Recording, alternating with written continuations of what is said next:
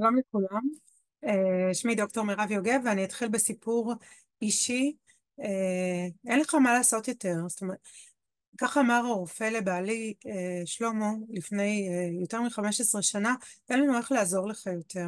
כשרופא או דמות סמכותית אומרת לאדם חולה אונקולוגי, אין אין לנו מה לעזור לך יותר, מבחינת המוח שלנו זה משהו שהוא מאוד סוגר, ואפילו יכול להיות כמו גזר דין מוות.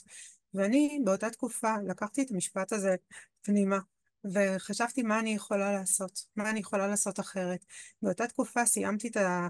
זה הייתי אחרי הדוקטורט שלי בפקולטה לרפואה בטכניון, ועבדתי בחברת סטארט-אפ שמפתחת אמצעים אונקולוגיים, יכול שזה אה, מקרה או לא במקרה שתגידו, והחלטתי שאני צריכה לרתום את הידע שלי בתחום אה, מדעי המוח, זאת ההתמחות שלי, ולראות איך המוח שלנו בעצם יוצר מחלות ואיך הוא מרפא את המחלות. במשך השנים אה, חקרתי את הנושא, היום אני חוקרת גם באקדמיה וגם לקהל הרחב וגם אה, יש לי קליניקה שבה אני מטפלת באנשים ובעצם עוזרת להם להבין את שפתו של המוח. מסתבר שהמוח מדבר איתנו באמצעות הגוף. אנחנו מכירים את זה שיש לנו לפעמים פרפרים בבטן או כל מיני תחושות, אבל המוח מדבר איתנו לא רק באמצעות התחושות שלנו, אלא גם באמצעות המחלות, ואני אסביר את זה. אני אתן לכם דוגמה. אה, אדם הולך במדבר והוא מאוד מאוד צמא, שלושה ימים הוא לא שתה מים, זה ממש סכנת חיים. האדם נמצא בסכנת חיים, ופתאום הוא רואה מרחוק שלולית של מים, הוא מתקרב לשלולית המים, והוא רוצה לשתות, הוא להוט לשתות, הוא יודע שהמים האלה יצילו את חייו, אבל הוא מסתכל פנימה והוא רואה שהשלולית מלאה בבוץ, רימות ותולעים. האם הוא ישתה או לא ישתה? אז עכשיו בבית שלנו הנוח אנחנו יכולים לעקם את האף, אבל באותו רגע כל אחד מאיתנו ישתה כדי להציל את חיינו. ככה המוח שלנו פועל.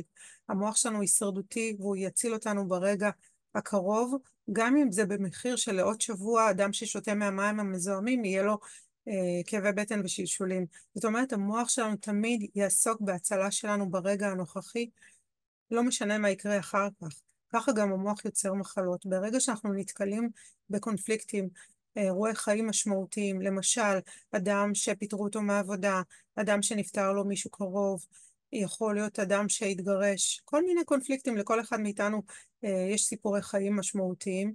ברגע שהמוח נתקל בזה, הוא ינסה לשנות את המציאות כדי להציל את האדם. עכשיו, הוא לא יכול לשנות את המציאות החיצונית לנו.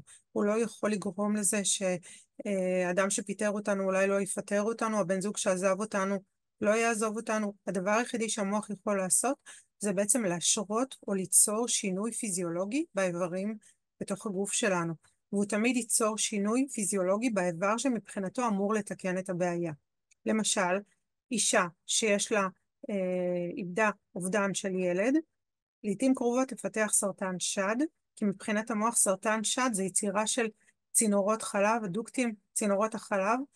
זה כמובן לא מחשבה מודעת, זה אזורים התת-מודעים במוח, שהם בעצם יוצרים את הסרטן, מתוך מחשבה שיהיה לי יותר צינורות חלב, יהיה לי חלב, אני אוכל להזין ולהעניק להעניק ולהעניק לילד שלי, ובכך בעצם להציל אותו. במציאות יכול להיות שהילד כמובן לא, יבט... לא ינצל, אבל ככה המוח שלנו פועל, הוא מנסה למצוא פתרון בתוך הגוף שלנו, למצוא פתרון בתוך הסביבה הביולוגית שלו, כי הגוף שלנו זה בעצם השדה הביולוגי של המוח, וכך הוא פועל. יש המון המון דוגמאות מפאת הזמן, אני לא אתן את כל הדוגמאות בתוך הגוף שלנו. מה שחשוב לי כן להגיד לכם, שהכל זה עניין של פרשנות. אני לא רוצה שתצאו מפה מתוך uh, תחושה שכל פעם שקורה לכם קונפליקט משמעותי בחיים, כי לכל אחד מאיתנו יש אירועי חיים משמעותיים, במיוחד גם בתקופה הזו שהיא מתוחה, הכל זה עניין של פרשנות.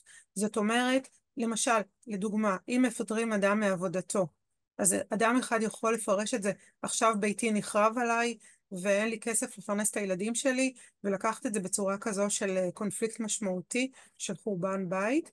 אה, המוח ישרה סביר להניח מחלה בתוך, אה, במערכת הקרדיו-וסקולרית, המערכת של לב וכלי דם, כי מבחינת המוח הלב הוא זה שאמור לפתור את הבעיות שקשורות לבית. עכשיו, יכול שאותו בן אדם יפרש את זה בצורה אחרת ויגיד, פיטרו אותי מעבודתי, זו הזדמנות להתחיל התחלות חדשות, אולי למצוא לי הזדמנות חדשה. הבן אדם ירגיש הרבה יותר טוב. זאת אומרת, כל אירוע חיים משמעותי אנחנו יכולים ללמוד גם את שפתו של המוח, מה המוח אומר לנו, וגם אונליין, ברגע האמת, לפרש את זה בצורה כזו שתטיב איתנו ותקדם אותנו. אז זה מה שאני עושה בעצם בקליניקה שלי, אני עוזרת לאנשים אה, להבין את שפתו של המוח, איך אנחנו יכולים להירפא ממחלות, איך אנחנו יכולים שהמחלות שלנו לא יישנו ויחזרו על עצמם. זה יכול להיות מנזלת ועד סרטן, כל מחלה ומחלה, היום אנחנו יודעים מהם הקונפליקטים המשמעותיים שבעצם אה, מובילים אליה, והיפה מזה שאנחנו יכולים גם ללמוד איך לשנות את החשיבה שלנו בצורה כזו שגם קונפליקטים משמעותיים שאנחנו עוברים בחיים וכולנו עוברים ישפיעו עלינו פחות ופחות ואנחנו נישאר אה, באורח חיים בריא ונשמור על הבריאות שלנו ועל אורח החיים שלנו. אז תודה רבה, אני דוקטור מירבי יוגב.